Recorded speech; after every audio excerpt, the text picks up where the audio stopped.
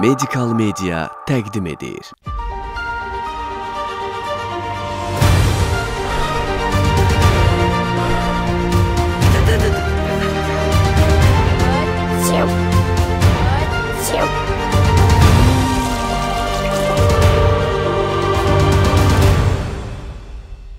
Azərbaycan Pediatri Cəmiyyətinin təqdimatında uşaq sağlamlığı proqramında xoş gördük hər birinizi dəyərli izləyicilər, sevimli valideynlər.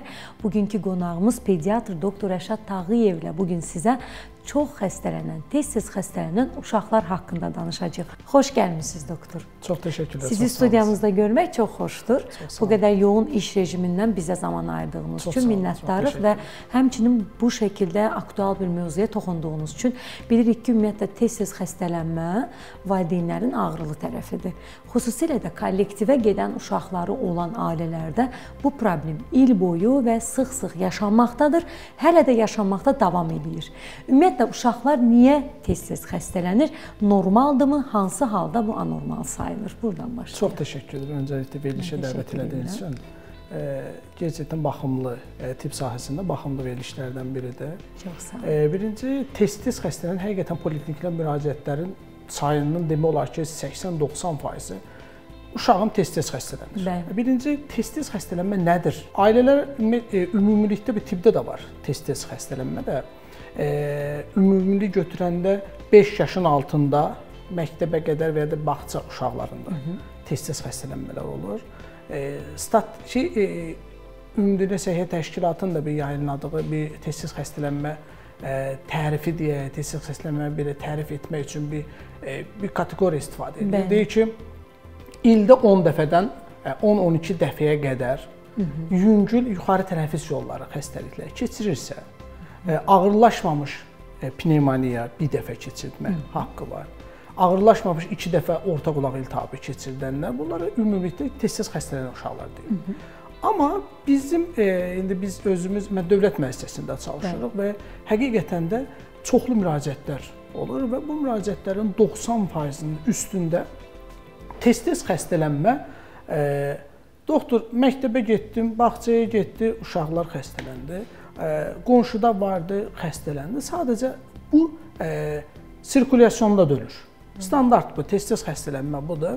Niyə tez-tez xəstələnir sualına cavab verəndə e, nə etməliyik xəstələnməmək üçün desəm Bəli. daha doğru olar. E, çünki normal qidalanma əgər Bəli. varsa, normal yuxu düzəni varsa, normal qidalanma da deyəndə də artıq e, mövsümi e, qidalarla qidalanma, e, o qədərində qidalanma, balanslı, e, balanslı qidalanma. e, məsələn, o abur-cubur kəlmələri var. Bəli. E, paket qidalardan istifadələr var. Təəssüflər olsun ki, çox yayğın çox istifadə olunur. Qazlı içəcəklər. E, o ketçap mayonezlər. E, fast food uşaqlar üçün fast foodlar. Bax bunlar getdikcə artır E, fikir verirsiniz, bunlar artdıqca, süni qidalar artdıqca xəstəliklər də artır. Ana südü ilə qidalanma statistikası da çox azalır. Düşür. Bəli. Hamiləlikdən simes axtarmağa başlayır. Analar süni qarışıq. Süni qida, süni qida, süni. Bəli. Çünki rahatdır istifadəsi. Bəli. Çox rahatdır.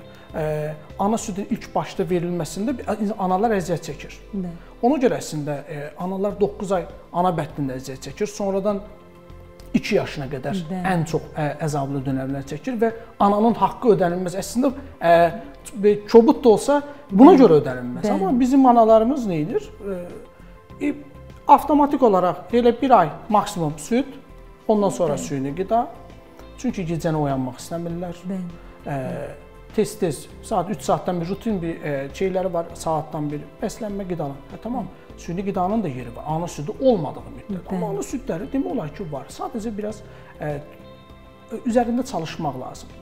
E, ona görə süd təlimləri var. Ana südün verilməsi üçün. Ana südü təlimləri var. Amma maraqlıdırmı insanlara? E, o sualdır. Bəli. Maraqlı deyildir. Bəli. Hal-hazırda göstərir ki, təəssüf maraqlı deyil. Ə, getdikcə ana südündən uzaqlaşma, süni qidalara getmək, dərmanlara meyl etmək. Deyirəm ki, uşaq deyirsiz çox xəstələnir. Bəli. Ana südü ilə qidalanıbdımı? Yox. Peyvəndlərini vurdurmusunuzmu? Yox. Vitamin D profilaksisi aparılıbmı? Yox. Bu uşaq xəstələnəcək. Xəstələnəcək. Təbii ki. Ə, indi məsələn keçmişdə əslində bu vitamin D-ni də məsələn dedikləriniz içində vitamin D ə, keçmişdə heç baxılmırdı. -hı. Son dövrlərdə həqiqətən də bütün araşdırmalar göstərdi ki, tez-tez xəstələnən uşaqlarında çox böyük bir araşdırma, meta analizlərdə göstərdi ki, həqiqətən də D vitamini çox aşağı olanlarda daha çox xəstələnirlər. Daha çox allergiya meyilli olurlar, daha var. çox astma xəstəliyinə meyilli olurlar, bronxit deyirlər, atopik dermatit, ekzemalar daha çox, daha çox, daha çox. Həqiqətən də bu D vitamini o yüzdən də doğuşdan bəzilər 15 gündən, bəzilər doğuşdan D vitamini profilaktikasını günlük ehtiyacı qədər deyir.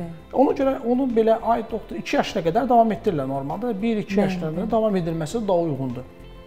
Üzərində də ə, ekstradan ailələrə də deyirəm Tamam, yay dönəmində gəzmə eyvallahdır, amma bu tez-tez xəstələnmə dönəmində, özəlliklə qış dönəmində, günəş enerjisinin Bəli. az olduğu dövrlərdə də D vitamini ömrünün sonuna qədər verilməsi, hətta bizim böyüklər, böyüklər belə onu istifadə etməsi uyğundur. Bəli, doğrudan da çox aktualdır. Siz demiş, əvvəllər sadəcə raxitdə biz D vitamini ağlınıza gəlirdisə, amma son zamanlar aparılan çoxsaylı çalışmalarda hansı problemin kökündə D vitamini azlığı varmı axtarılırsa çıxır. Yəni o üzdən D vitamini profilaktikası uşaqlarda mütləq, çox. Tez-tez xəstələnən uşaqlarda mütləq Bəli, həmçinin verilməsi uyğundur. Həmçinin valideynlərin çox vaxt bizdən gözləntiləri möcüzəvi bir eliksir üzərindən olur. Yəni biz onlara elə bir dərman yazaq ki, bu uşaq çox xəstələnməsin. Varmı elə bir dərman? Yoxdur elə bir dərman. Dünyada yoxdur. Bəli. Təhsilimi xaricdə aldım, orada da yoxdur. Bəli. Oxuduğumuz kitablar ingilis, alman, bəli, bəli. Amerikan orada da yoxdur. Ana kitablarımız var, desin, yoxdur, elə bir dərman yoxdur.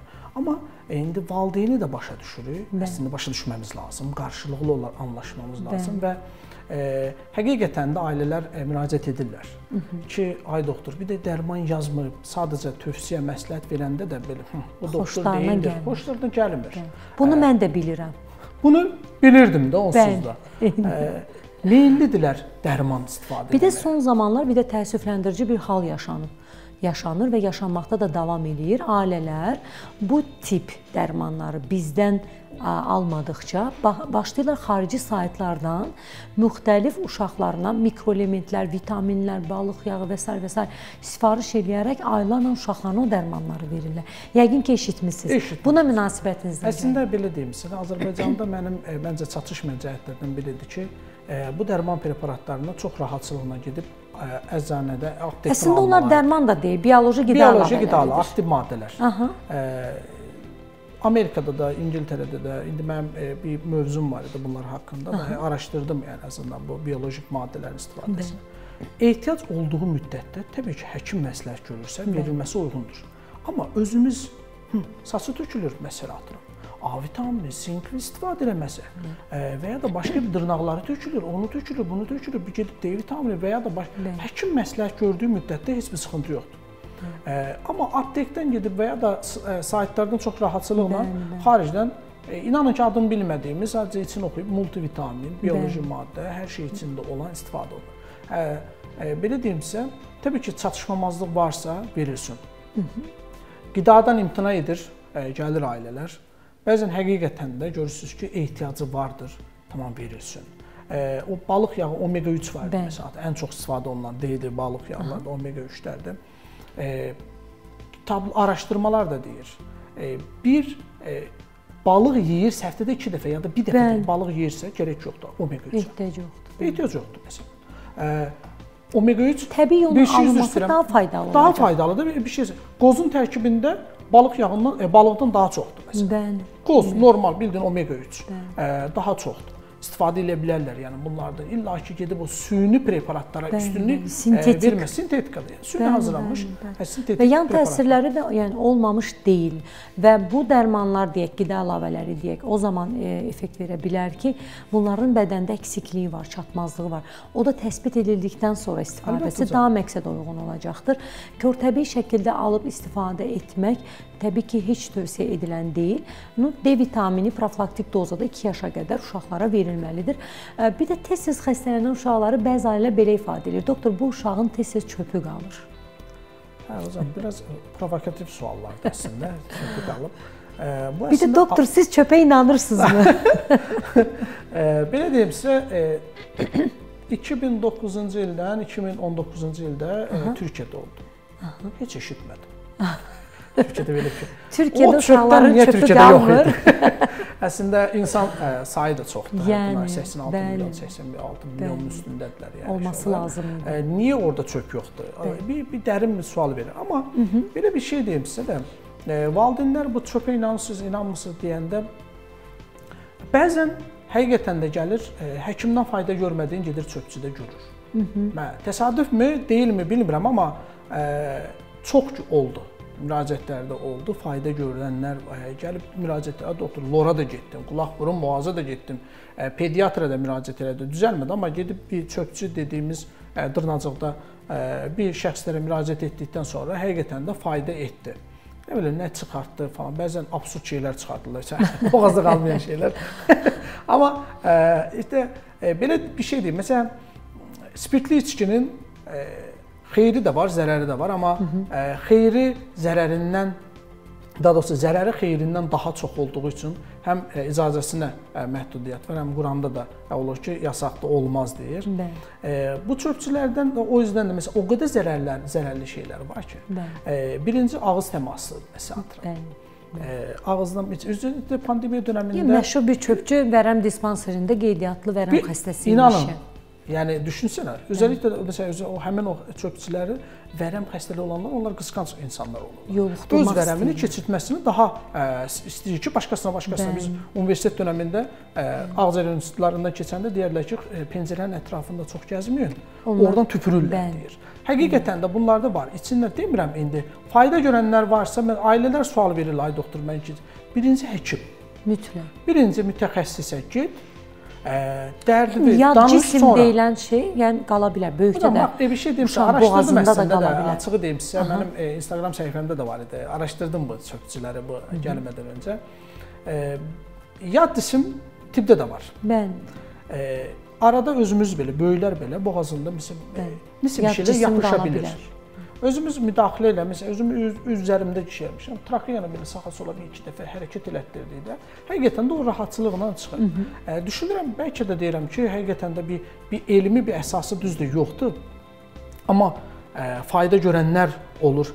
Çox güman elə yəni yüngül şeylər də ilişir, qalır, hərəkət elətdirdikdə, onlar da yuxarıdan və ya da təzyiqlə elədikdə çıxır və bunlar fayda görürlər deyə düşünürəm. Amma təbii ki, heç bir elmi əsası yoxdur. yoxdur. Ə, zərəri həddindən artıq çoxdur faydasından. Bəli. O yüzdən məsləhət görülmür. Təbii ki, mövzu uşaqlardırsa zərər yarar hesabı şərtdir. Əlbəttə. Yəni uşağa zərər verəcək şeylərdən də qaçmaq lazımdır. Çox xəstələnən uşaqlar mövzu açılmışkən peyvəndlərdən deməmək olmaz. Bir də bizim ölkə üçün bu biraz ağrılı tərəfimizdir. Təəssüflər olsun ki, körtəbii olaraq həddindən artıq insan var ki, peyvənddən imtina edir. Mən peyvəndi vurdurmuram, qorxuram, istəmirəm deyə peyvənddən imtina edən valideynlər çoxdur. Bu barədə fikirlərinizi istərəm. Valla bu barədə biraz ə, fərqli bir şey deyəcəm. Aha. Asistanlıq dövründə və tədris aldığım, ə, təhsil aldığım dövrlərdə də mənə bir mövzu verdilər. Hı. Çünki Türkiyədə də 2017-18-ci illərdə Hı. Türkiyədə də həqiqətən bu tendensiya ailələr qalxdı, biz peyvənd vurmuruq falan filan işte belə şeylər və ə, mənə bir araşdırmaq üçün bu mövzunu verdilər. Ə, 365 dənə bir yayın meta analiz yayılmışdı. O ay yayınların içində sadəcə 2 dənə yayında ə, e, var idi ki, həqiqətən də peyvənddən sonra ə, e, bir autizmli xəstə olur və ya da yan təsiri həqiqətən gələcəkdə olur. İkisi də yazarı eyni adam idi Hı -hı. və ikisində də ə, 70 dənə 70-75 xəstə uşaq götürülmüşdü. Hı -hı. Az sayı. Hə, 365-dən sadəcə 2 dənəsində bu eyni şəxslər idi. Ə, əslində bunlar bu hardansa bir biri bir kəlmə deyir Bu tendensiya yayılır, Bəli. olmaz. E, təbii ki, peyvəndin yan təsiri var. E, yad cismi orqanizmə vurursan. Belə verəndə də onsuz biz özü həkimlər də nə deyirik? Deyirik ki, temperatur çıxa bilər, diqqətli olun. 1% də olsa məsələn atıram o el arasında çox məşhur olan AKDS dedikləri ə, e, peyvəndi vuranda ə, avtomatik boğmaca içərisində olduğu üçün ə, 1% də olsa qıcılma, qıcı olma olma Bəli. ehtimalı var etiraz onu heç kim eləmir. Üzərində də var. Bəli, Biz həkimlər də deyirik. Amma 99%-i bir yana qoyub 1%-in üzərində düşmək çox böyük yanlışdır. Bəli. Özəlliklə də bu korona dövründə də anladıq ki, peyvənd vurulanlar immun sistemi ən azından aktiv olanlar idilər. Bəli. Ki, e, korona çox rahatçılıqla keçirdilər. E, bu dövrdə də onu anladıq ki, həqiqətən də peyvənd çox əhəmiylidir. Çox önəmlidir. Yəni peyvəndə qədər COVID-dən nə qədər həkim dünyasını dəyişdi. Amma peyvənddən sonra risk qrupu olan həkimlər arasında həqiqətən də ölüm sayı demək olar ki, çox azaldı və ya olmadı. Ona görə yəni peyvəndlər hər zaman aktualdır, vacibdir və birmənalı şəkildə mütləq vurdurulmalıdır və təqvimə görə vurdurulmalıdır. Bəzən gözləyirlər uşaq böyüsün, sonra eləyirlər. Məsələn, ailələr deyir, biraz böyüsün, Biraz sonra. böyüsün, biraz Amma- kilo alsın, biraz zəifdir mənim uşağım. Bəli, və ya biraz allergik uşaqdır. Uşaqdır. Nə yəni əlaqəsi çox əsassız səbəblər üzərindən gecikdirirlər. Halbuki peyvənd uşaq nə qədər erkən yaşdadırsa, o qədər daha bizə vacibdir, nəinki böyük yaşlarda. Çox xəstələnən uşaqlar ə, dedikdə, təbii ki, bir də ağlımızda çox xəstələnən uşaqlar arasında görülən ağırlaşma halları, yəni ə, bağçaya gedərək, toplum içərisindən çıxaraq, kollektivə çıxaraq hər xəstəliyini ağır keçirdiyini təsvir edən ailələr var. Məsələn, uzun sürə xəstəxanada yatış gərəkdirən və ya hər xəstəliyini xəstəxanada yatma ehtiyacı yaranan ailələr var. Ə, Burada problem nədir və necə yanaşılmalıdır bu uşaqlara? Məsələn, e, ümumiyyətlə tibbdə də var. Bağça xəstəliyi, Bəli. Kreş xəstəliyi deyirlər, var yəni. Niyə topluma çıxır? Hər evdən bir ailə uşaq gəlir. Fərqli e, floralar evlərdən gəlir, birləşirlər. Bir də bir ekstradan bir e, bir şey deyəcəm məsələn. İndi korona dövründə əvvəllər bu qədər də e, çox deyildi. Bəli. Korona bu virusundan sonra insan orqanizmində sanki düz əlimizdə bir əsasımız yoxdur. Bir virus normalda girirdi, digər viruslar girməzdi, digər xəstəliklər. Amma bu dövrdə həddindən artıq biri girir, digəri çıxır, digəri girir. O e, sıralama birdən 2-3 virus birdən gəlir. Bəli, E, olur, boğazında infeksiya, bakterial infeksiya, qulaq iltihab, ortalıq qarışır. Mixed infeksiya. Mix infeksiya, qarışıq bir şeylər. Normalda belə sıra ilə idi. O immun sisteminin sanki belə bir e, e, sıradan mı çıxıb yoxsa mexanizmində error mu verir? Nəsə bir, Çox bir problemlər var. Həqiqətən var. Ümumi nə tə- Təcrübədə səhiyyə- də görürük. Təcrübədə də görürük. Ümumdünya Səhiyyə Təşkilatı da deyir. Bir adları fərqli ola bilər. Deyir, su çiçəyi artıb. Qızılca artıb Bəli. dünyada. Meymun çiçəyi artıb. Bir, şeylər deyir, amma həqiqətən də özümüz indi bizim müraciətlərin sayı həddindən artıq çoxdur. E, özümüz bir praktikamızda, bilmirəm, təzəlikcə də elə qabağıma da gəlir. Boğaz infeksiyaları, bədənində səpki, qaraciyər dalaq böyüyür, pnevmoniyalar artır, həddindən artıq çox ağırlaşmalar gedir. Streptokok infeksiyaları. Hə, Ümumdünya Səhiyyə Təşkilatı da sə- çox sürətli gedir. Həddindən artıq ildırım sürətli ağciyər bağlanır. Bəli. Anaya soruşur, ay anası 100% baxmayıbsan sən bu uşağa.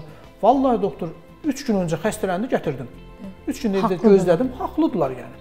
48-72 saat onsuz da bütün xəstələnən uşaqlara deyir, qripdir, soyuq dəymədi. Gözləyin 2-3 gün. Evdə soyuq dəymək üçün maye çox verin, bol Artıq istirahət. onu deməyə də. Doktor. E, mən hər zaman bir şey deyirəm. Babək deyirdi, filmdə də deyir. Deyir, silah çıxandan sonra kişilik öldü. E, bu viruslar da çıxandan sonra tibbdə bir proqnoz verə bilmirsən. Artıq bir proqnoz verə bilmirsən. Əvvəl deyirdik 3 gün gözlə, indi deyirik qoy baxaq, sonra 3 gün gözlə. İnanın ki, e, bu gün e, gülən uşaq sabah reanimasiyaya gedə bilir, ağırlaşa bilir. Təəssüf. Bu gün ağır olan sabah yürüyür, gedə bilir. Bəli. Odur ki, illa ki, əgər xəstələnibsə, bir gündən ən azından bir gün gözləyib təbii 24 saatdan sonra mütləq həkimə Mütləq. görünməsi lazım. Mütləq. Çünki zamanında müraciət doğrudan da çox önəmlidir. Elə streptokok üzərindən məndə də bir təcrübə olmuşdu. Uşaq yəni streptokok infeksiyasının ardıcı ə, çox ağır plevrit və ciddi ildırım sürətli pnevmoniya ilə, amma yəni valideyn evdə gözləmədiyi üçün, həmin həkimə müraciət elədiyi üçün biz o uşağın həyatını xilas edə bildik. O uşaq bir 2-3 gün gec gəlsəydi, artıq çox doğrudan da gec ola bilərdi. Halbuki ilk başlanğıcda heç uşaqda öskürək şikayəti belə yox idi, yəni. Doğrudan da çox atipik gedə bilir. Elə pnevmoniyaların özü məsələn son günlərdə çox görürük. Heç öskürək yoxdur, sadəcə dirənci qızdırmaya görə tarama etdikdə pnevmoniya aşkar çıxdığını görürük, yəni. Burada immun sistemin rolu varmı? Yəni ki, bu cür xəstəliyin keç hər uşaqda individual fərdi keçirilməsi, immun sistemin burada nə dərəcədə rolu var? Bax, bir şey sizə deyim də normalda indi e, unutdum onu bayaq qeyd edeyim də tez-tez xəstələnən uşaqların şeyində. E, Əgər həqiqətən də e, o dediyim kimi pnevmoniyaların sayı artır. Bəli. Təkrarlama pnevmoniyalar və həqiqətən də e, irinli e, otitlərin Otitlər. olması, e, damardan alınacaq antibiotiklərin əgər müddəti artırsa, əgərsə illaki altda yatan bir səbəb vardır deyə araşdırılmalıdır. Bəli. E, immunoloji e, öz indi praktikamda görürəm, son dövrlərdə immunoqlobulin A e, əksikliyi həddən artıq çox gəlir. Bəli. Neutrofil aşağı olanlar çox gəlir. E, o yüzdən mütləq bu ailələr həqiqətən də bir immunoloq, yəni allergoloq, immunoloq bir bərabər gedir, mütəxəssisə müraciət etsin. Hə, pediatr təbii ki, ümumi ilkin e, aşkarlaya bilir. Sonra da, da mütəxəssisinə yönləndirəcək araşdırılması üçün və daha da irəli ə, müalicəsi üçün mütləq eləməsi. İmmun sisteminin illaki yol, rolu vardır.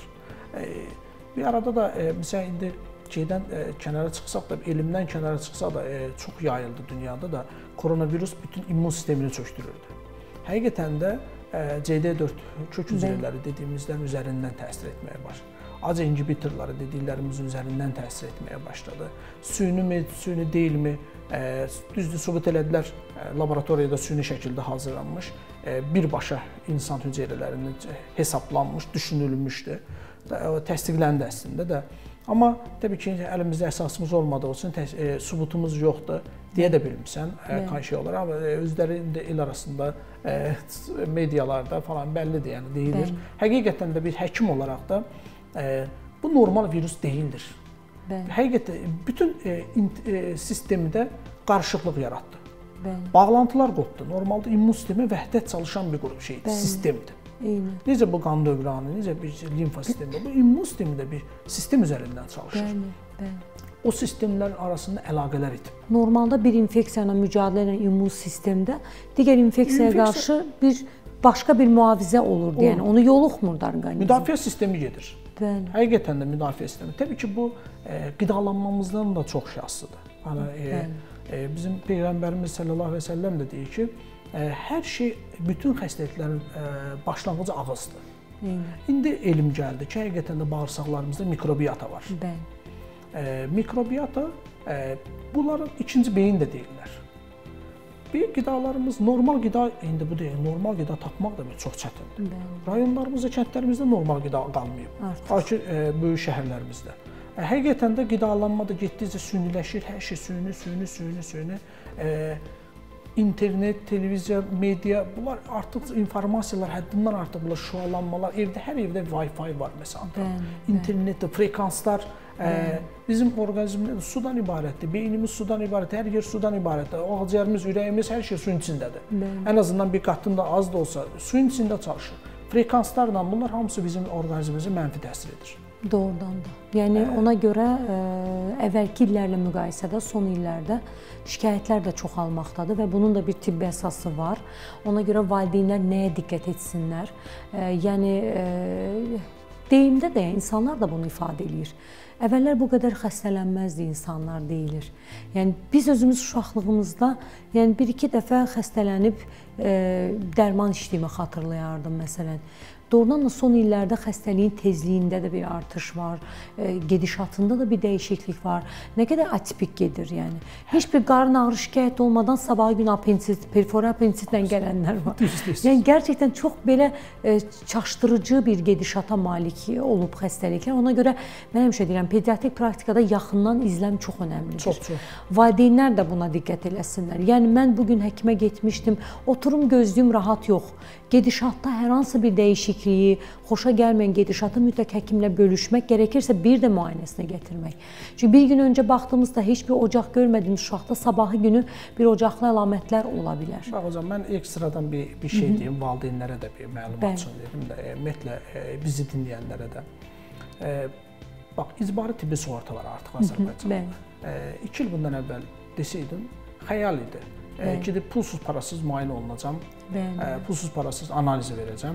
Amma hal-hazırda icbari tibbi sığorta var. Şükür Allaha ki, yüksələn şey gedir. Çox biz bu icbari tibbi sığorta Türkiyə modelidir. Bəli. Türkiyə icbari tibbi sığorta 30 ilə oturdu Bəli. sistemi. Hələ də qüsurları var. Bəli. 2 ilin içində həddindən artıq çox irəliləyiş var. Çox gözəl. bayaq sizə də dedim. Bəli, bəli. Bax, atamın bir çox uzağa getmir. E, yaxınlıqda bir e, ürək əməliyyatı e, deyək də bir aparat qoydu, cihaz qoydu. ICT dedilər bir aparatda, CIRT.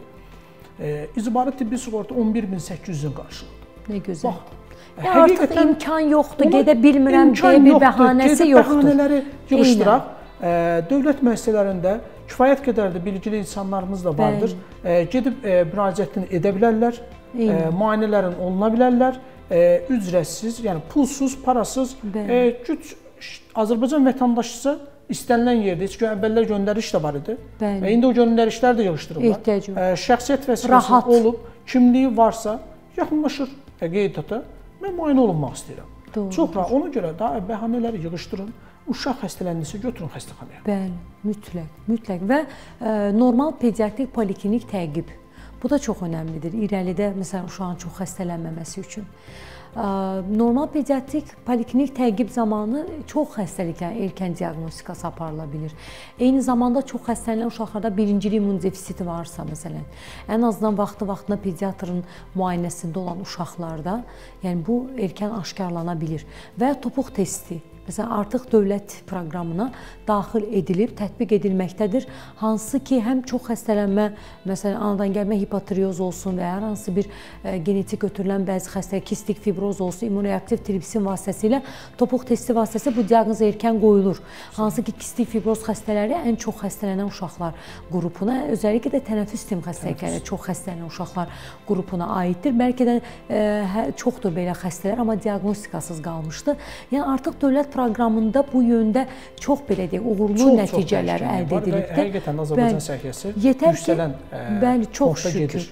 Çox şükür və yetər ki, insanlar bundan faydalansınlar, faydalanmaq istəsinlər və yetər ki, zamanında müraciət etsinlər. Bir də allergiya problemləri. Sizə də elə gəlirmi ki, çox şişirdilir. Çox uşaq bu uşaq allergikdir deyilir və çox uşaq allergiyaya görə müalicə alır. Yəni həddindən artıq çox allergiya problemi olan uşaqlarmı çoxalıb yoxsa bu diaqnozmu şişirdilir? Məsələn mən e, belə qısa desəm, Aha. həqiqətən artıb allergiyalı olan uşaqlar.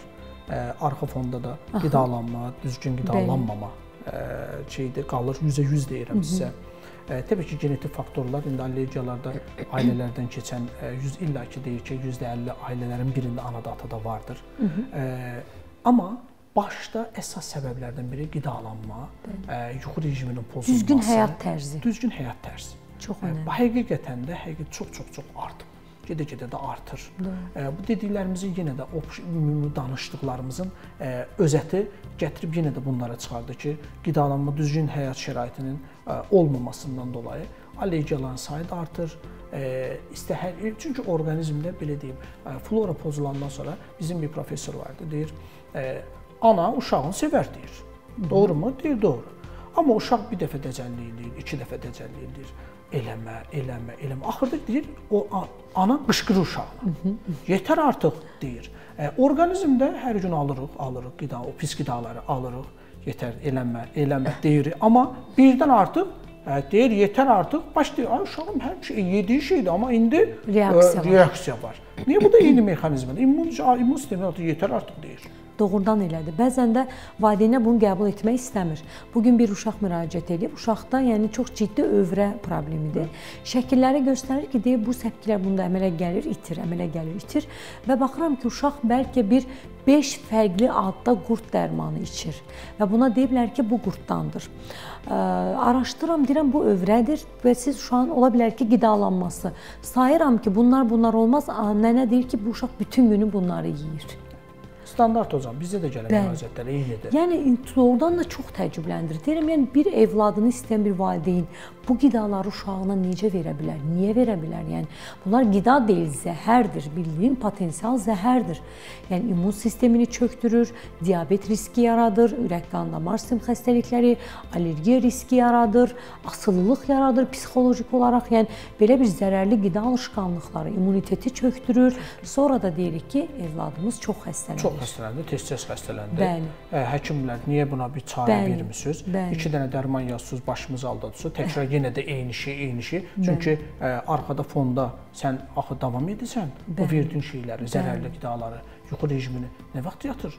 2-də, 3-də, 2-də, 3-də uşaq yatar. Televizor, ekran, televizor, planşet, ekran, televizor. sonra gec danışır. Bəli. Ə, uşağın Sos- nə- asosial. asosialdır, autizmdir, Bəli. nə bilim, Və reaksiya ondan sonra da vermir. başlayırlar mərkəzlərə Mərkəzlərə. tutmağa. aylarla Fikir verəsiniz ki, loqopedlər artıb, bəli, psixoloji mərkəzlər artıb, mərkəzlər getdikcə artır, artır, artır. Təəssüf Ə, bunların hamısı niyə? Tələbdən dolayı.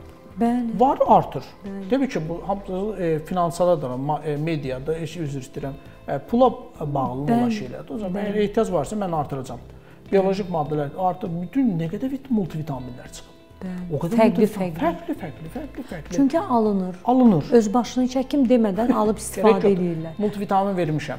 Standart bir şeydir artıq. Bəli. Həkimi gözləmək Kömək olmuyor. Kömək olmadıqdan sonra Multivitamin bizə həkim gəlir. olmayandan sonra əlində sonunda gəlir ki, nə problemim Bəli, var. sonda çox aktual bir sualla istərdim mövzunu bağlayaq doktor.